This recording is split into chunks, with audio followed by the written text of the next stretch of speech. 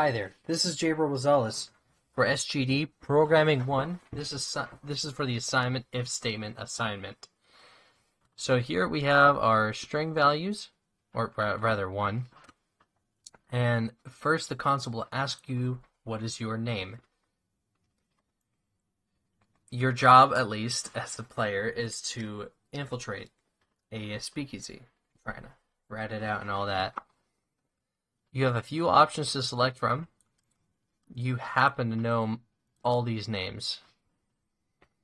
The correct answer would be Garland, or, and the rest of them are the wrong answer.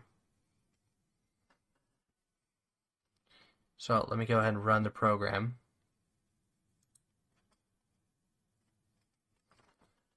Let's go with uh, let's go with Biggs.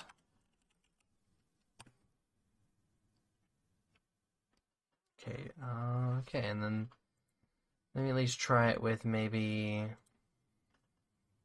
Let's try it with Garland, the correct answer.